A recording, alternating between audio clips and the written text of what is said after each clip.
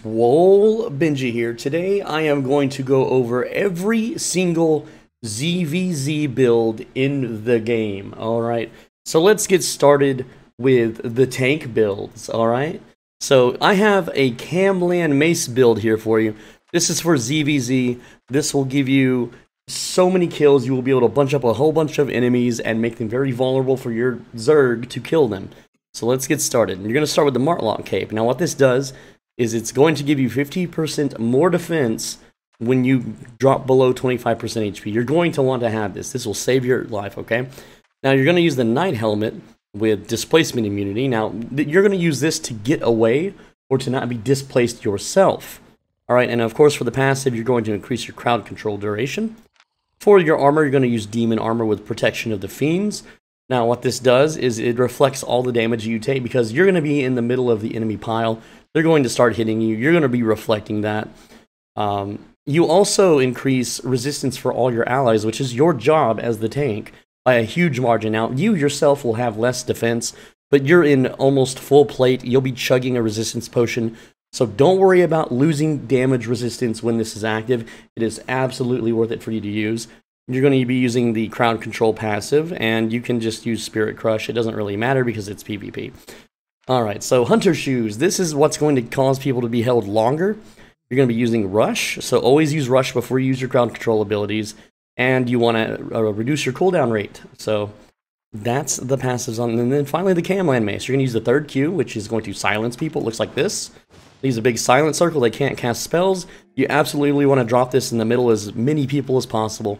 For mobility, you're going to be using snare charge so you can jump around, and this will snare people. This will hold them in place.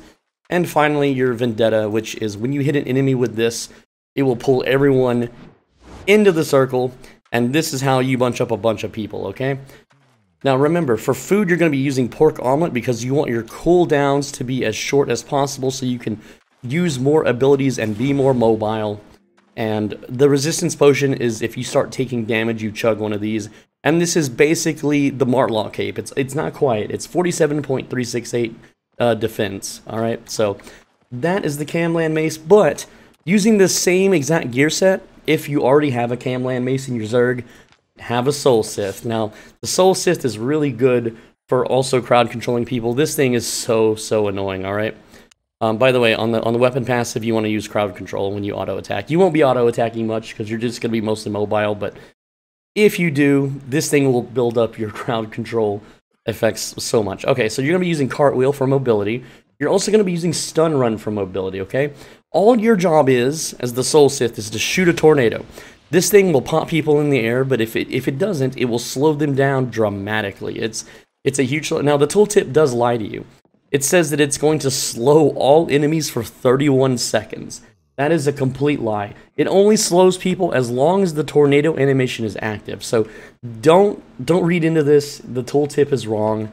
Just thought I'd let you know.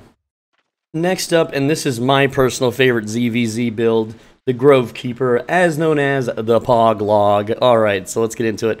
For your helmet, you're going to be using the Judicator helmet with the electric discharge and uh, increased crowd control duration. For the armor, you're going to be using Guardian Armor with Enfeeble Aura authority, which increases crowd control duration.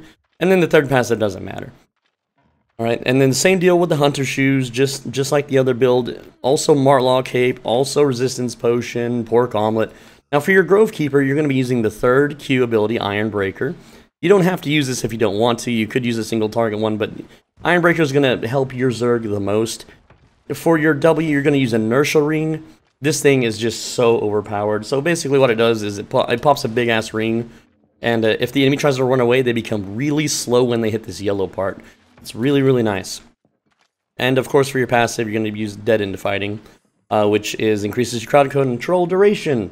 So the way the Pog log works is you're going to use your boots, and then you're just going to jump in the middle of the pile, which stuns everybody. You're going to pop your ring, and then you're going to start slamming, then pop your armor, and that's going to make everyone very weak. And then also you have your helmet, and that's going to stun everybody. So you're just basically this hyper mobile mega stun monster that will stun everyone over and over and over. And this guy's trying to challenge me to a duel because it's a test room and he wants to test out his, his abilities. But essentially, if you start getting into trouble, you chug your resistance potion. Your cape will keep you healthy. and you'll be able to jump out of there. And you're super, super tanky in this anyway. Like, I'm sitting at 4,000 HP. The Grove Keeper gives you a bonus to maximum health. You're not going to die unless, like, something seriously goes wrong. Next up, we have the Hand of Justice build. This is more of a supplementary build. You're going to be using the Knight Helmet with displacement immunity so that you can't be knocked around. This is very important for this build. You're going to be using Judicator armor after you've executed your combo so that you have more damage resistance and everyone that's piling into your area will be able to receive more healing. Alright, again with the Hunter Shoes, the Resistance Potion, the Martlock Cape. So here's the Hand of Justice build. You're going to be using the third Q.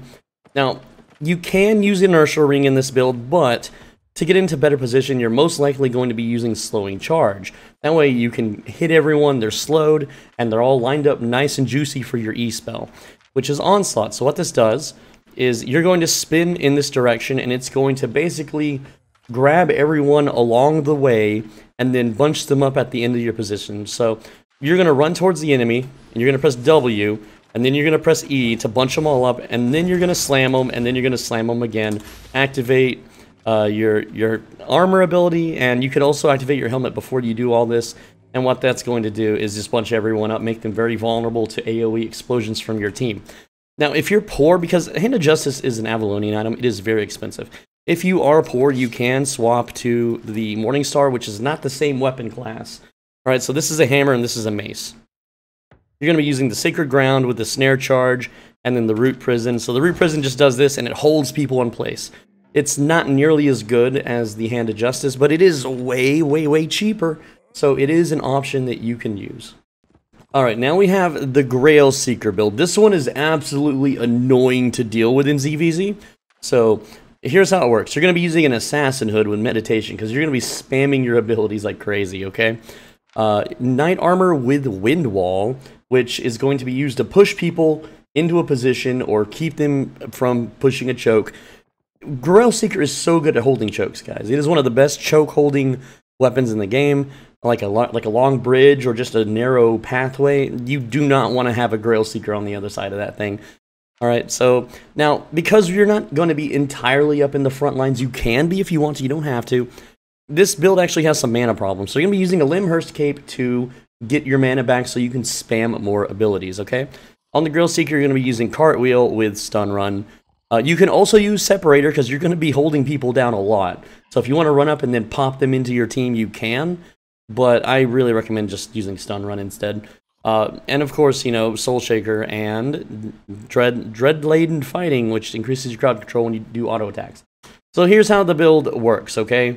You're to run at the enemy, especially if there's a bunch in a line, and you're just to start slamming down E's. That's to put it on cooldown. And you're to use your D helmet to get your cooldown back a slightly bit faster, not quite, but it did help a little bit there. And in the meantime, you're just to run around and auto people and then cartwheel them and all that kind of fun stuff. You can push them back with wind wall because you're hypermobile. Remember, you're you're absolutely hypermobile. And then uh, you know whenever your cooldowns come back, uh, you can slap down more of these stun lines, and uh, people can't move. They're trapped in them. You run up to them, you wind wall them back into your team, and everything is good. It is such a stupidly overpowered, dumb, just build that I hate fighting in ZVZ so much. Now this one's debatable if you can call it a tank or a support build, but I'm going to put it here anyway with the tank build. This is the Staff of Balance build, so you're going to use Cartwheel with Stun Run and of course your Mystic Rocks. And the way this build works is you are going to be buffing your allies who have dived into the enemy, but at the same time you're also going to act as an idiot magnet and hope that enemies attack you. Okay, so here's how the build works. You can use Hood of Tenacity or Helmet of Valor. Okay, so Hood of Tenacity, depending on the enemy's composition, you can use this to reduce the healing amount that the enemies receive. It does it like a negligible amount of damage, so don't worry about that part.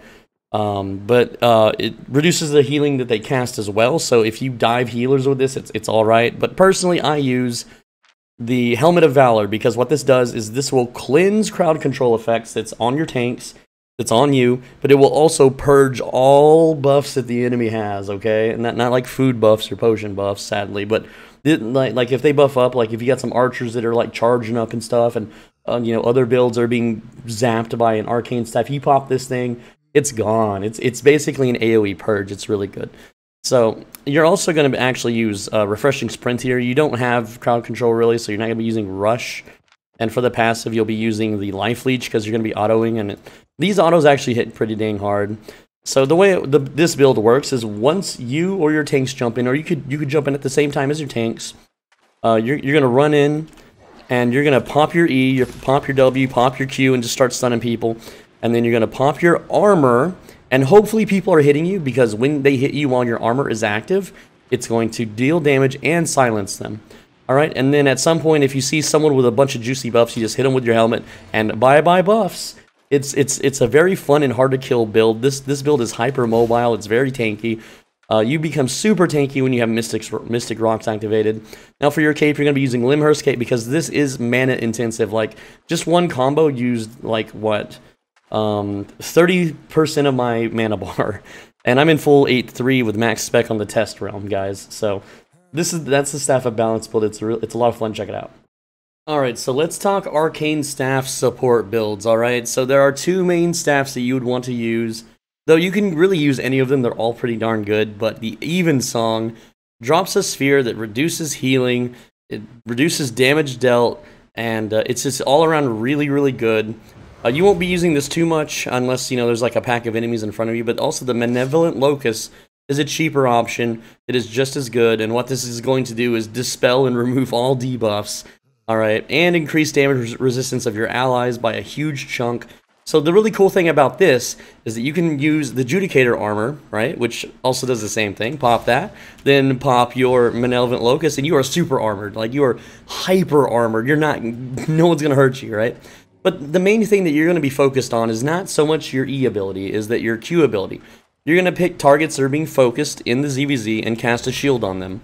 And also, you're going to pick your friends or someone with a very high damage weapon and use your W ability, Empowering Beam, to juice them up and give them tons of damage. Now, let me tell you, whenever you juice someone up and they blow up on a, whole freaking Zerg, like someone uses an energy cannon and just melts everyone while you're juicing them up, you're getting all the kill, like you're sharing the kill credit with them. It's it's a lot of fun.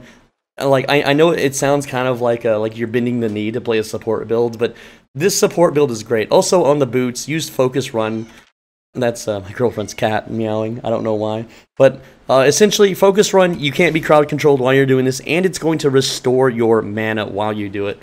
Uh, for uh, potions, you're going to use resistance potion and pork omelet uh, so that you can spam your spells more often and not die. And of course, Martlock Cape so that if you do get focused, you will be able to escape, especially if you have focused run.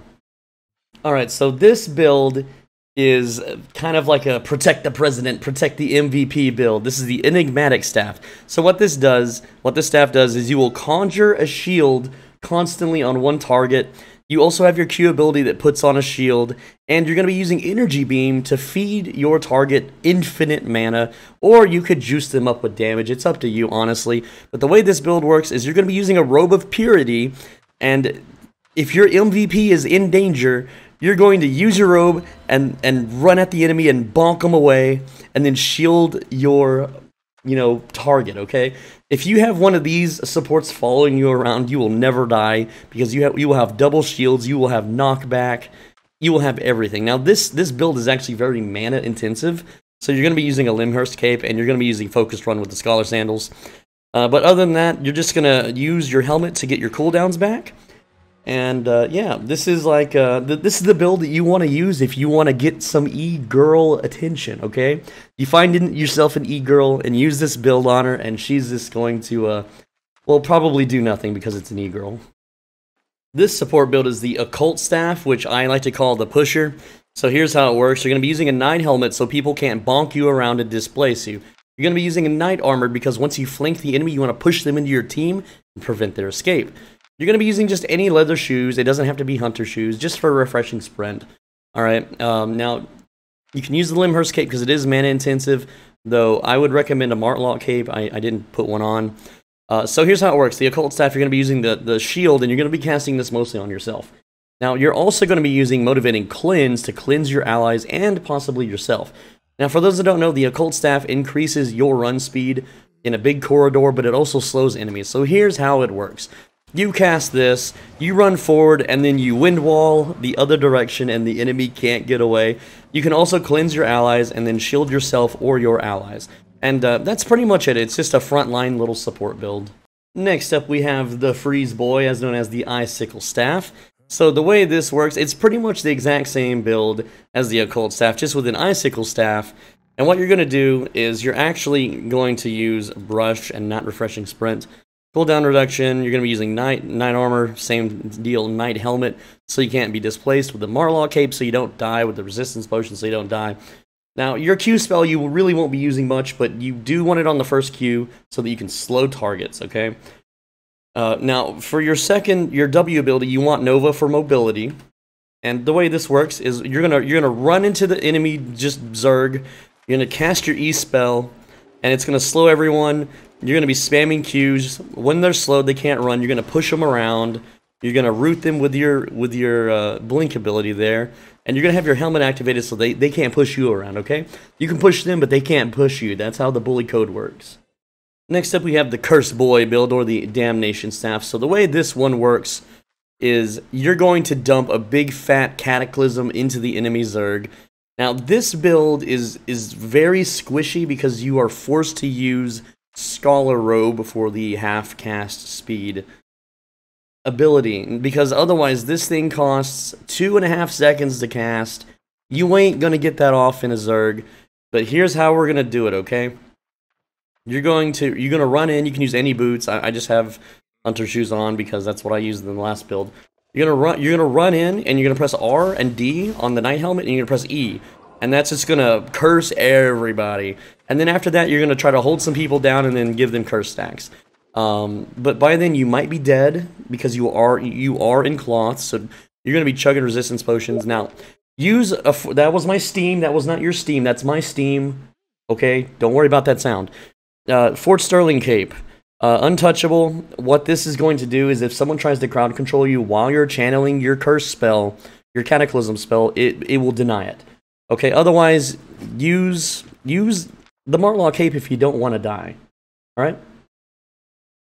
Alright, let's get into damage now. The fun builds in ZVZ, right guys? Okay, let's start with the Brimstone Staff, because it's the biggest one. It is the most damage. It's going to delete health bars is going to turn the tide of battle. If you if someone can land maces and you drop a meteor right in the middle, they're dead.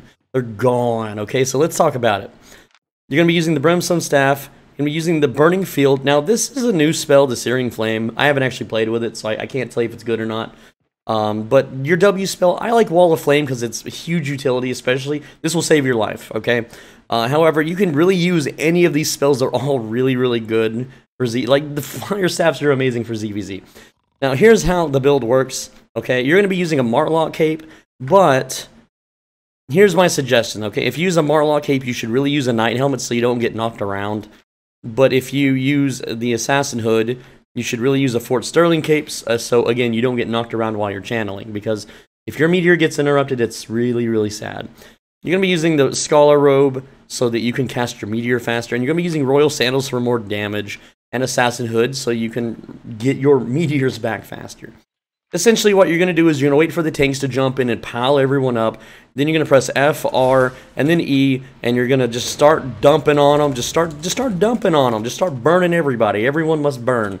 Then get your cooldowns back, and uh, you know, just rinse and repeat. It's up to you. It's uh, you're, going to be melting health bars with this build. Alternatives to Fire Staff are the Blazing and the Dawn Song. Uh, instead of using Scholar Robe, because these have faster cast times, you can use this Cleric Robe. This will keep you alive, and if someone decides to hit you, then uh, you deal 30% more damage, so it's all good. But it's pretty much the same exact build. Uh, so, for instance, you're going to just cast this in the middle of wherever the tanks jump, and hopefully they can hold him, hold the opponents here in this giant flame tornado. Otherwise, you'll be using the Dawn Song, which uh, is it's not nearly as strong as the Blazing Staff, but it does cover a wider area, so you'll hit more people. Uh, it also reduces the the healing that they cast. So if if your Zerg needs you know reduced healing you know debuffers, then you can go Dawn Song. But Dawn Song is pretty darn expensive. Um, I'm not gonna wait 17 seconds to show you what the spell is. If you're curious what the spell looks like, then get on the test room and try it out yourself. Alright guys, it's the Siege Crossbow. This one is actually really tricky to use there's there's a huge divide between good and bad siege crossbow users, and let me explain, okay? The good siege crossbow users actually run with the tanks and begin firing before the tanks even land. Okay, the bad siege crossbows come in afterwards and try to clean up, and they they don't get all their shots off. Okay, but when you start hitting people with this volley, it's going to melt their health bar. So here's how here's how it works. You're gonna you're gonna run side by side with your tank, and you're going to use your your your helmet ability, your boots, your armor, and right as they jump, you're gonna start setting up your siege crossbow, and you're just gonna start blasting. And this is going to you're gonna hit everyone that the tanks pull and that the tanks hold down, and they will be dead. Okay. Now because you're channeling. That's why we use the knight helmet, so we can't be displaced and interrupted. We use the cleric robe so that if someone retaliates with a big AoE explosion, we don't immediately die. And we use the royal sandals for more damage. You can also swap out the helmet if you want to fight a little more cautiously. You can use the assassin hood so you can shoot more often. Uh, Fort Sterling cape so you don't get interrupted instead of the knight helmet. And there you go, that's a siege crossbow. Now, for the energy shaper, you're going to go full glass cannon. You're going to be using the druid robe. So here's how it works. You're going to activate your druid robe and then your helmet, and then you're going to spam some Qs at the ground. You're going to press F, and then you're going to hit E, and you're just going to hose down the enemy team when the tanks initiate. And I didn't quite stack my, my damage to 6, but when you do, and you stack your helmet to 6, and your boots are going, and you have your beef stew going, everything dies. There is nothing that survives that. Maybe the enemy tanks, if, if, for whatever reason they're caught in your tank jump, but essentially this is the highest possible damage besides the brimstone staff that you can deal to enemy players if they are held down in your laser beam. And the cooldown's not so bad, okay? Like, a lot of people want to use Assassin Hood with the Energy Shaper, but the Energy Shaper cooldown, it, it ain't that bad, okay? Um, this gives you plenty of time to reposition, repower, so you can actually take your time. Like every time that I cast Q at the ground and I get another stack of Druid Robe, it like resets the timer, okay? So, so like there I am at five, there I'm at six. Now I can just wait three, four, five, and then connect. And that would have been six stacks on my helmet. It's you, Once you learn the timing, it's very easy. And this it deals an insane amount of damage, okay?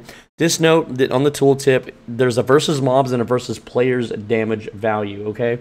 So if you go up to a mob and shoot them and it doesn't deal a lot of damage, just remember you're gonna be you're gonna deal like three times that amount to a player, alright? Now this one is the sniper build. This is if you want to stream snipe in a ZVZ or you want to snipe a specific person or you just want to you just want to kill people one at a time, okay? This is the build for you.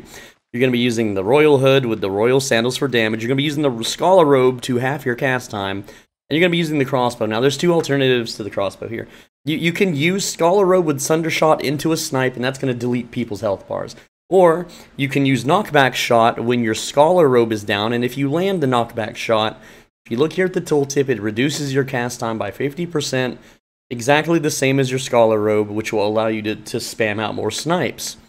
You can also swap to an Assassin Hood if you want to spam out more snipes, though having 6 stacks of Royal Hood combined with Snipe is how this becomes lethal. Alright, if I charge up my helmet, and I charge up my boots, and I get 6 stacks on, a per on, on myself, and I shoot someone with 6 stacks, they're dead. They will absolutely be completely dead, unless they are a tank or wearing like 8.3 or something ridiculous like that.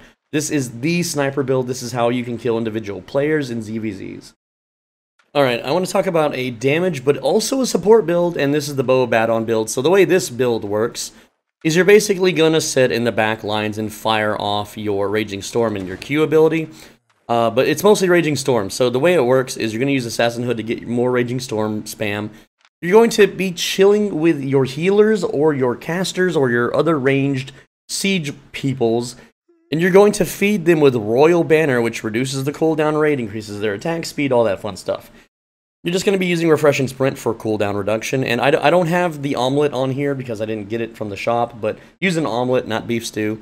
And you're, you're basically just going to chill. This is the most chill, like, ZVZ, like, position. You're just going to chill in the back lines, fire off your arrows, use your armors, use your cooldown reduction, you know, uh, and you're just gonna you're just gonna shoot arrows from as far distance as possible, and uh, it's uh, it's pretty man intensive. So use a Lymhurst cape. I didn't I didn't put one on. Use a Lymhurst cape. Next up, we have the Mist Piercer build, And the way this build works is you're just going to activate your Scholar Robe, spam out your E-spells, like so. With Scholar Robe, you can shoot these so fast, and they deal tons and tons of damage, okay? It's so much more than Wailing Bow, and you can shoot them so fast. You have a way to escape, you have a way to do ranged. Then you're going to use your helmet, your Assassin Hood, to get your cooldowns back. And uh, you're also going to activate Royal Sandals if you want more damage, or more escape, or more chase. It is useful in all regards, but with Frost Shot, you have plenty of chase, you've got plenty of poke.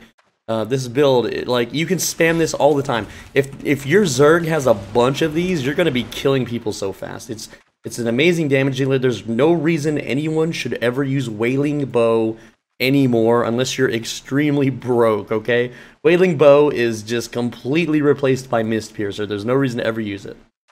Alright, now we have the Permafrost Prism. This is my personal favorite weapon for ZVZ. You're going to be using the third Q ability because you're just going to be AoEing down everything that the tanks touch. You are essentially following the tanks when they jump and when they land, you're going to be freezing that entire circle of people that they have clamped or clumped up for you. And you're going to be dealing so much damage with both Ice Shard and your Ice Crystal. Now, you're going to be using the Royal Cowl for mana purposes, okay? Uh, you absolutely need this, otherwise you're going to go out of mana and you're going to be useless in the rest of the fight. Scholar Robe is going to let you spam abilities. You can use Royal Sandals, you can use Cleric Sandals, you can use Scholar Sandals. I like Royal Sandals. Guys, I love the damage. Now, this is important. You need Morgana Cape. You absolutely have to have Morgana Cape, otherwise your damage is going to kind of suck, okay? So the way this build works is you're going to activate your helmet, and then your boots, and then your armor, then you're going to blink forward with the tanks, freeze your opponents, and then just spam Qs, and this is going to just delete health bars. This is going to absolutely melt people, alright? And now my cast speed's a little slower, so that's when I would back off, because the enemy might be doing their counter push and you're just going to rinse and repeat until you win the until you win the war. All right, now we have some cleanup crew builds here. This is the Clarent Blade and the Bloodletter. Okay, so here's how it works. You're going to be using Stalker Hood to either deal more damage or unstealth sneaky players using things like Undead Cape or just stealth in general. You're going to be using Hellion Jacket to keep yourself alive if like five dudes jump you. You will absolutely be able to pop this and continue fighting until your Zerg or your army or whatever rolls up and destroys them. You're going to be using Hunter Shoes with Rush for Clarent Blade, though for Bloodletter you'll just be using Refreshing Sprint or Run. Alright, so the way Clarent Blade works is you're going to build up heroic stacks. If you got one, it slows them. If you got two, it silences them. Um, so you want to you want to combine that with your Hunter Shoes so that you can silence and slow for longer periods of time. Uh, otherwise, don't worry about it too much. It's it's just a it's just a nice weapon that attacks enemies in a line, same way as Bloodletter. Now for Bloodletter, you're going to be using the Deadly Swipe for mobility. You're going to be using Chain Slash for the immunity and mobility, or you can always use Shadow Edge. It really depends on how many targets you have. Um, and I like the attack speed buff, Aggressive Rush, because a lot of people just end up giving up, and the faster that I can auto attack them down, the faster that they die if there was one spec in the game that I would be a complete master of, knowing everything I know in this game, it would be this one right here. Um, so yeah, use this Bloodletter. You can execute people below 40%. It's hyper mobile.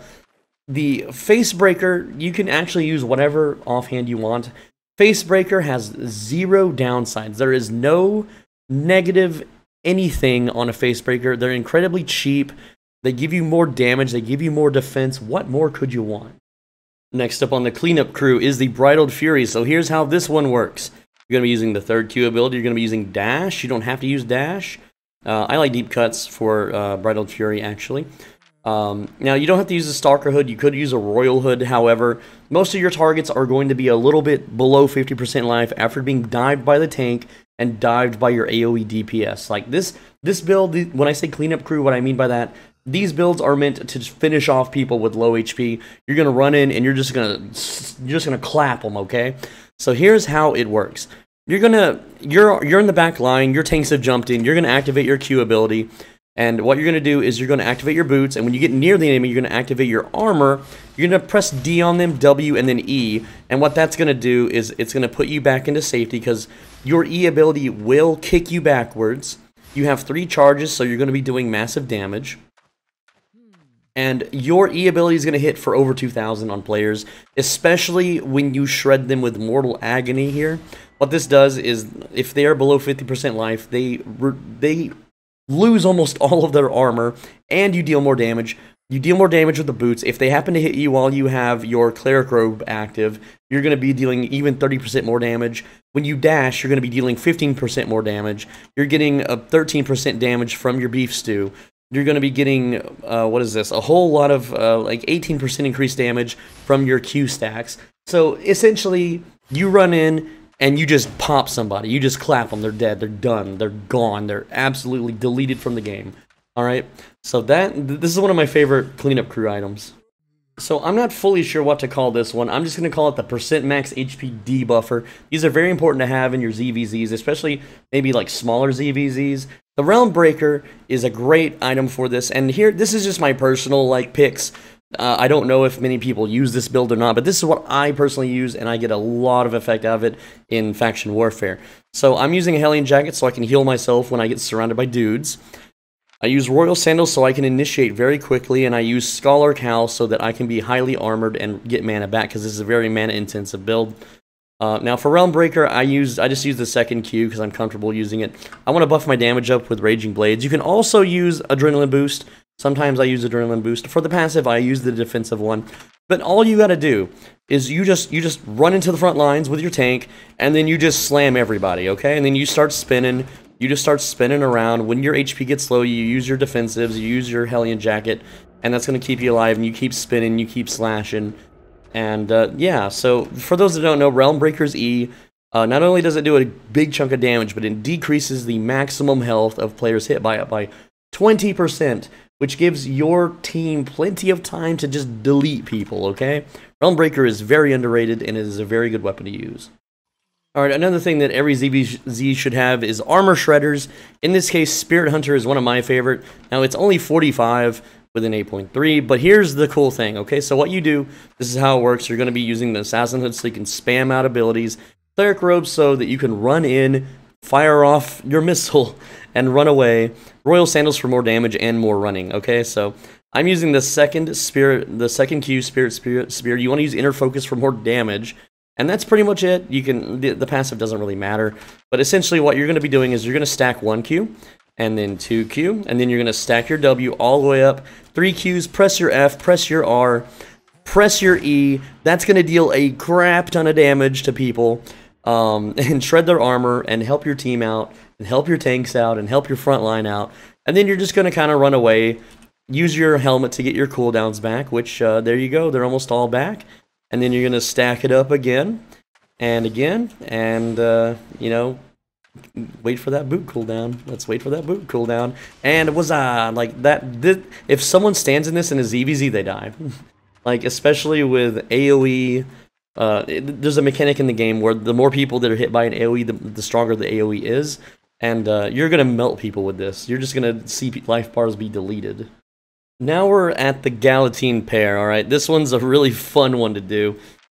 So it's, a, it's also a little dangerous. This is kind of an all-in one. So the way it works is you activate your helmet, you activate your boots, you're running towards the enemy, you press W, you press R, you hit him with a Q, you hit him with an E, and you just let off this giant nuclear blast that just kills everything around you. Um, and if it doesn't kill everything around you, it reduces their max HP so that your cleanup crew can come in and execute everybody. This this deletes health bars. This is the scariest thing besides meteors to see in a ZVZ is the Galatine pair. And uh, you know, you use the cleric robe, use the royal hood, the Martlock cape, beef stew, of course. And to get out the get, to get out alive, you got to use that resistance potion. Okay. All right, for healers, it's healing time. The Fallen Staff is the pretty much most basic healing that you're going to be doing in ZVZs. I personally like Generous Heal, but if you want, you could also use Holy Flash if like everyone's getting tickled. Okay, I use Holy Orb because it can explode and heal multiple people. It's also instant cast.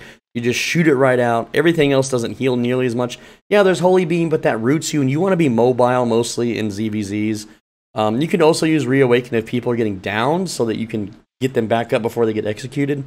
Uh, now, the, what happens is um, a lot of people are going to take damage, and this is where you're going to use Salvation. It, this drops a big healing circle on the ground. People can see it, and then they can stand in it and get nice and healed. Hopefully, uh, you know, people see it. Sometimes they don't. But yeah, your W spell, look at that. It's a huge AoE. It's instant. And of course, your Q spell is Generous Heal. That's a big fat heal. That's going to save some lives. Use Cleric Robe if you get focused. Um, I think I have the wrong boots on, actually. Um, I use Scholar, use Scholar sandals, not Royal sandals, because uh, you want focused runs, so you can't be knocked around and so you can get your mana back, so I'm sorry. I also use Energy Potion with Omelette and Martlock Cape, just in case I get focused as a healer. Now for the helmet, the helmet you can use Knight Armor if you don't want to be knocked around out of your channeling, but I personally use Cleanse from the Mercenary Jacket so that I can cleanse debuffs and crowd control effects for myself and anyone else that I'm standing near. And that's the this is the most like bare bones standard healing build. Alright, next up are the Wild and the Blight Staffs. The Wild Staff is your defensive option, okay?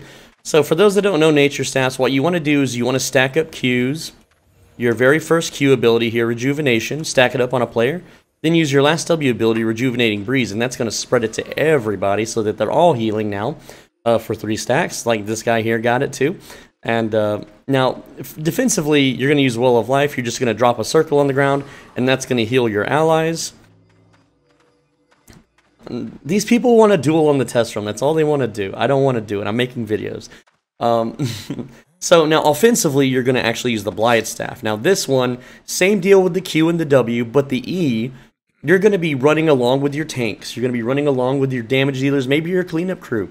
And uh, what you want to do, um, this time I got Scholar Sandals on, is, you know, you stack up your dots, or I'm sorry, your heal over times, you spread them to your allies, right? Oh, I'm using the wrong ability there, my bad. But essentially what this does is it's going to use a huge circle around you. It's going to increase your movement speed. It's going to heal everyone around you. But also, um, it's going... I, I'm pretty sure... Yeah, I'm pretty sure this slows people too, right? I thought... Didn't it used to slow? Well, either way, you run with your team, and uh, you're just constantly healing them, right? And this is what you want to use for ZVZs. Um, the Cleric Robe keeps you safe, and the Mercenary Hood keeps you cleansed. Uh, there are meme versions where you can constantly reset your cooldowns. I've got builds on my channel, but they're not really ZVZ sanctioned. They're not really ZVZ approved, so they're kind of a meme build. But so use this one instead. All right, so this is more of a frontline healer. I, am calling it the bully healer. Uh, it is the Hallow Fall. So the way this build is going to work for you, you're going to be using the Royal Cowl so you don't go out of mana because this is very mana intensive. It's actually even more mana intensive if you use an Astral Aegis, which is what you want to use if you're stuck on the front taking all the hits, because this will make you very tanky. But at the same time, if you if you feel like you're fighting against a lot of enemy tanks, you really should be using the Sacred Scepter, which will give you enough CC resistance to not be crowd controlled. You're going to be using the Cleric Robe so that you can be immune while you cast spells, the Scholar Sandals so that you can't be knocked around while you run away and regenerate mana, and the spells you're going to be using is the Holy Flash, because you're going to be AoEing your tanks, you're going to be AoEing as many people as possible. You're also going to be using Sacred Pulse so that you can either knock enemies around or just AoE heal your allies. And of course the E is an AoE. So you're going to spam, you're just going to spam this on your allies. You're also going to spam your W on your allies, and you're going to spam your E on your allies and enemies.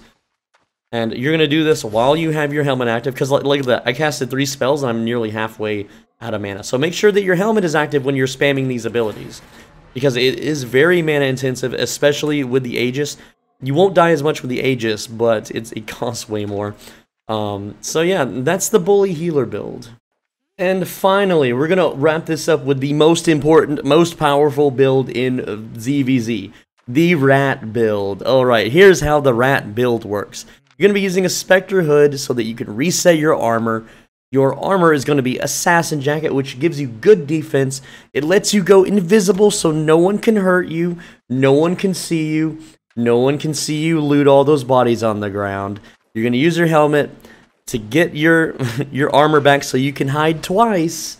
You want to be able to hide twice.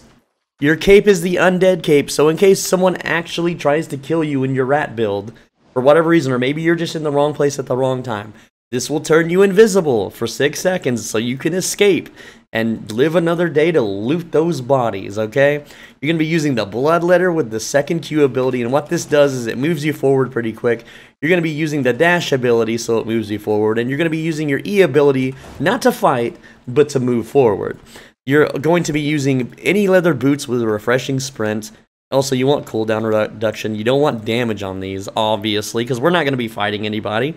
Well, maybe. As a rat, you know, if someone's, like, on their deathbed, they're, like, one hit away from death, you can get go ahead and give them a smack. You are a rat, after all. Uh, use that refreshing sprint, get those cooldowns back. Use that omelet for more cooldowns.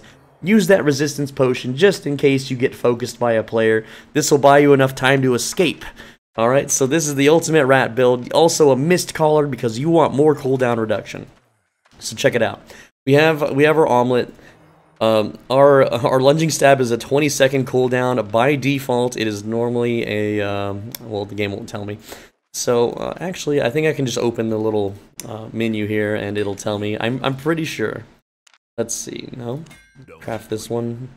Yeah, it won't tell me, but but we got it down to 20 seconds. Um, so you got the dash, the dash, the dash, the run. You can go invisible twice.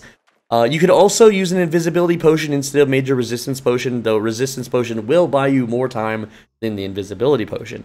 And this is the build that you want to use when you want to get some loot. So anyway, guys, I hope you enjoyed this ZVZ build video.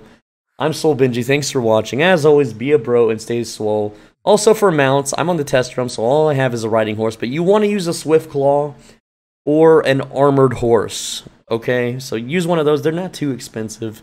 Go ahead and just use them. Also, put a bag on so you can get some loot if your guild leader allows it. If your guild leader doesn't allow it, you're in the wrong guild. You should be able to loot things, okay? That's part of the game. That's part of the fun. Guys, leave me a like and a comment. When you do both, it is an algorithm cheat code. It is a YouTube combo. I put a lot of work into this video showing you all the best ZVZ builds. So please help me out and like and comment on the video. Also, 80% of you aren't subscribed. Hit that subscribe button. Get me to 50k. Let's let's beat the official Albion Online channel. We beat all the other channels, um, even though technically they get more views because they are strictly Albion Online related, and I spread my games out a bit. But anyway, guys, I really appreciate it. I hope this build guide helped you out. Uh, I will see you in the next video.